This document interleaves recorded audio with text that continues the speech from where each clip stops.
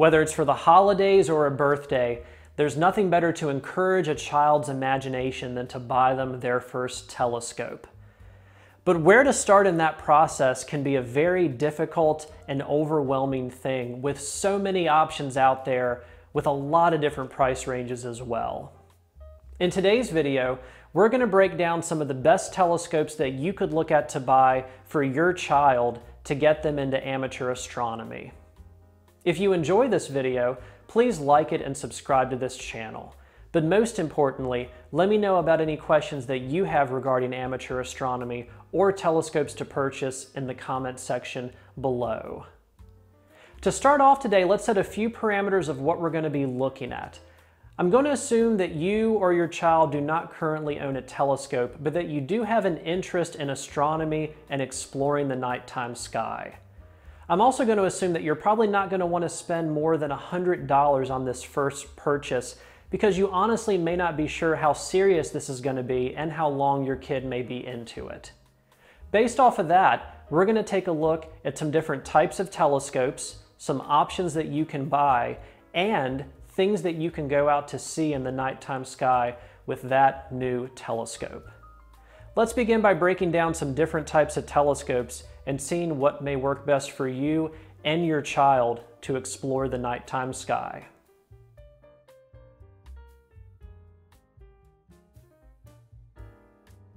There are three main types of telescopes that people start to look at for their first purchases, and those are a refractor, a reflector, and a Dobsonian telescope. Although a reflector and a Dobsonian are the best bang for your buck in the hobby, I actually wouldn't recommend them for a child because of the mirrors, which can bring about more maintenance and upkeep. What I would recommend for a child is a refractor. These are great entry-level telescopes and this was the first type of telescope that I got for Christmas as a kid back in 1992. They're low maintenance, easy to move around, and also have that classic telescope look which can be really important for a child. Now that we've settled on the type of telescope to get, let's take a look at the best type of stand for that telescope. You're going to come across two different versions of stands. One's going to be alt-azimuth and the other is going to be equatorial. I would encourage you to stay away from the equatorial stands because of their polar alignment and complicated mechanics to simply point them towards an object. An alt-azimuth base is going to be much preferable for a child because it simply involves pointing up and down and right to left to find the object in the nighttime sky. All right, now that we figured out the type of telescope and the stand that you want for it, let's talk about size. Now, the larger the aperture of a telescope, the more light you're going to be able to pick up from the object that you're looking at. And that will lead to more detail at higher magnifications on most nights of observing. But working with the parameters that we're talking about here of pretty much under $100 and a telescope that weighs a certain amount for a child to be able to move it around, we're going to focus on a refractor that's between 60 millimeters and 70 millimeters in size. And I think that's gonna be a great starting point for most kids. The next thing to take a look at is focal length. This is the actual length of the telescope, which is gonna help us to determine magnification when we get to that point later on in the video when we talk about going out and observing some things in the nighttime sky. For this price range and type of telescope, we're gonna stick with between 600 and 700 millimeters for a focal length to get started for this first telescope. The final thing to take a look at are what accessories come with a telescope. And this can really be a mixed bag depending on the company and brand that you look at to buy. At the very least, try to find a telescope that comes with a decent finder scope and inch and a quarter eyepieces, preferably two that give you a good low and medium magnification to get started out for your child's observing.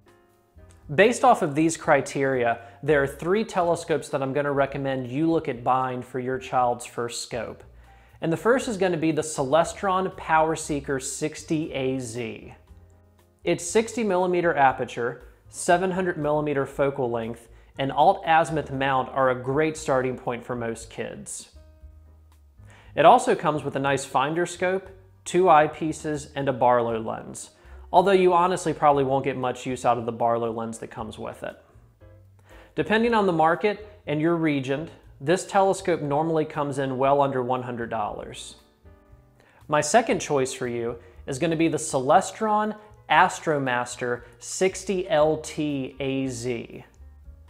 This telescope is a higher build quality with a sturdier tripod, 700 millimeter focal length, red dot finder scope, and comes with higher quality eyepieces. These upgrades do come at added cost, however, with it coming in around $100 on most websites.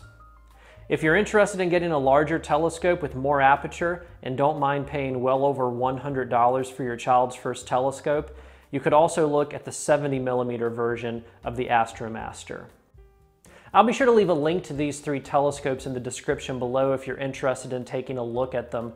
But I would also encourage you to shop around to various websites, particularly for different regions of the world, looking for coupon codes and sales in particular around the holiday season.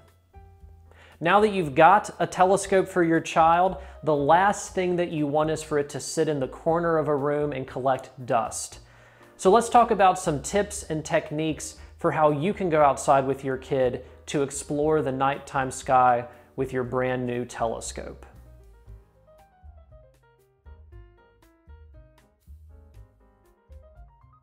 When I got my first telescope as a kid, the first thing I did was put in the highest power magnification eyepiece I had and went out to scan the nighttime sky and was able to see absolutely nothing. Do not make the same mistake that I did as a kid when your child goes out with their new telescope. You're going to want to start out with the lowest magnification eyepiece that you can when you're looking at any object. In fact, the best thing to use when searching for even something like the moon is the finder scope that comes with your telescope. This is going to provide the lowest magnification view to scan the sky to find it. Once you've got the moon in the crosshairs or the red dot of your finder scope, then put in an eyepiece. But make sure you use an eyepiece that provides a low magnification. To figure out magnification, let's imagine that you bought a telescope with a 600 millimeter focal length. To find the magnification of a 20 millimeter eyepiece, divide the focal length of the telescope by the focal length of the eyepiece. That tells us that your kid will be seeing around 30 times magnification. Encourage your child to study the craters of the moon, track its phases throughout the month, and just spend time exploring our closest neighbor in the solar system. Once you've spent some time on the moon though, you're gonna probably wanna have your child move to some of the planets of our solar system. And the biggest and brightest are gonna be obviously the best to start off with. During most times of the year, that's gonna be Venus, Jupiter, Saturn, and sometimes Mars. Find them in the exact same way that you found the moon, starting with your finder scope and then going with a low powered eyepiece. If you're interested in where these objects are going to be on a monthly basis, I've put together a night sky series that I update on a monthly basis for this channel, and it's called The Night Sky. Please consider subscribing to this channel if you're interested in keeping up to date on what you can see in the night sky on a monthly basis. As for viewing things beyond our solar system, there's one object that I would encourage you to try to hunt down with your child, and that is the incredibly impressive Orion Nebula. To find it, go outside during the winter months and look for the constellation Orion. From there, train the finder scope on the three stars that make up Orion's belt. Once you've put in a low power eyepiece, scan down from that belt until you find a cloudy region of space which is the stellar nursery that we call Orion's Nebula.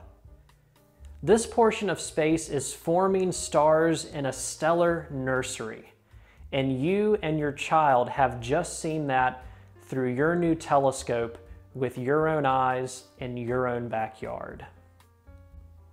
There's something very special about going out and exploring the nighttime sky with your family particularly when it's a child who has an interest in this incredible hobby. I hope I've been able to help out a little bit with you in this process, and please let me know of any questions that you may have about telescopes to purchase or anything you can see in the nighttime sky in the comment section below. Thank you all so much for your continued support, and clear skies from Late Night Astronomy.